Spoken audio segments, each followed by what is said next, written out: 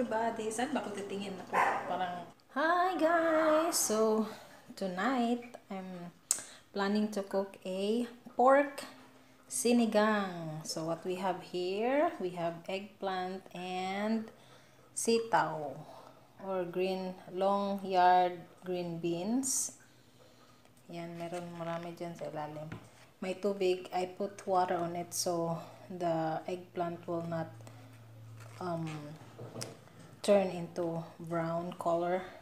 And then, um, we have here kangkong, water, ano ba to? Water spinach.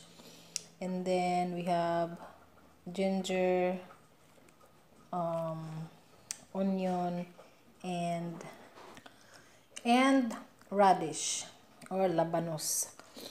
Yun, labanos yata yan sa Tagalog. Yan guys. So, and yung ingredients, very simple ingredients and very simple um, way of cooking. So, ito tayo. And in here, we have already our pork that it's been boiling probably for 30 minutes now. Tingnan natin. Mm-hmm. Ayan yung ating pork. So, I boil them first and then the first um, water I pour it in the sink. So, this is the second boil.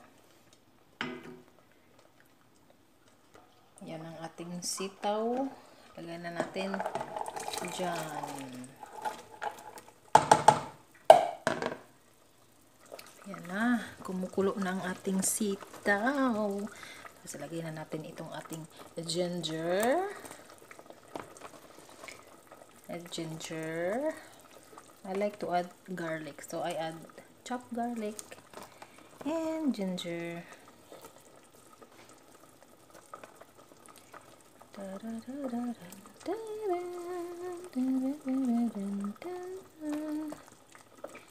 Yan. Tapos, i-add na natin itong, let's add the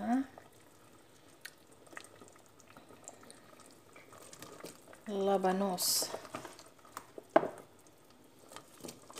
Labanos ito. Radish. Yan, radish. Yan. And then, we're gonna cover it again and wait until it's boiling again. Okay, and then we're going to add the eggplant. Okay, guys. This is good in the cold night. Yan na. Add natin ito. Malamig yung panahon ngayon, kaya gusto kong magsabaw. Okay guys, so ngayon naman, the last one that we're going to put is the water spinach or kangkong. Ayan. Damihan na natin yung kangkong kasi it will shrink. Plus, I like to eat leafy vegetable. That's why. Yan. Ayan guys, see? It shrink already. Before, it's a lot of um, kangkong, but now it's already shrink. And we don't forget to put our tamarind soap mix for the complete taste. Yes, it's already 8.47 p.m. now. Tada! Sinigang sa sampalok! Wala! My dinner for tonight. Ayan na ang ating sinigang na pork. Tsaka of course, meron akong pinaksiw na isda dyan. At tsaka kanin pa more. Nagutom ako guys kasi I try to figure it out bakit hindi ako makapag live stream sa YouTube. Ngayon, finally, my husband figure it out. And guys, ipakita ko sa inyo bakit hindi namin, bakit hindi ko kanina na figure it out, bakit walang camera doon sa aking um, live stream. Ito pala guys, ito lang pala yung maliit na button dito. Ayan. Si may ano siya camera na pwede mong i-on at saka pwede mong i-off. Yan lang pala yung maliit na button na yan. Kahit saan saan na kami napunta. Pumunta na kami ng malayo na yung napuntahan namin. Pumunta na kami sa mga apps. Mga nag-download na kami ng mga malware virus. Ano-ano pa dyan. Ito lang palang maliit na button ito. Ito lang pala. Yan lang pala. Kaya hindi ako nakapag live stream ngayon. At yun, yung dahilan. Kaya hindi ako nakapag live stream ngayon. Yung maliit na button na yun. Yun lang pala yun. So, kaya nagluto na lang ako ng sinigang. Naku, ang sarap nito guys sa malamig na panahon. Halika, tikman natin. Tikman natin yung sabaw. Mm. Yum, yum. Saka yung tikman natin yung gulay. Mainit. Mm. Sarap guys. Okay guys, so let's eat again. More rice.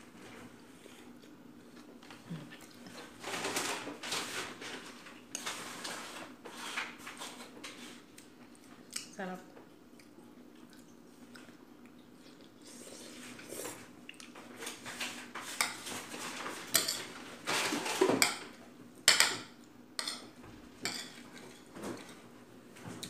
Masarap ito sa malamig na panahon.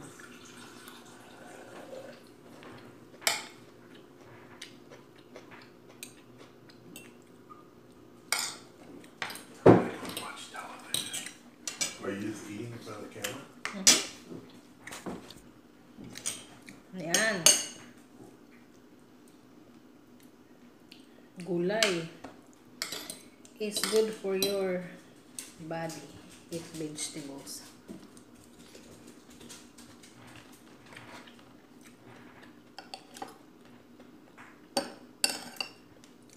Yan, gutom ako guys sa paghahanap ng solusyon doon sa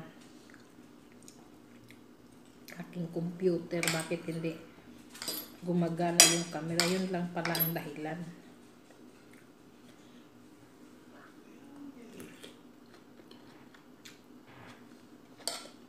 Mm. Yan guys.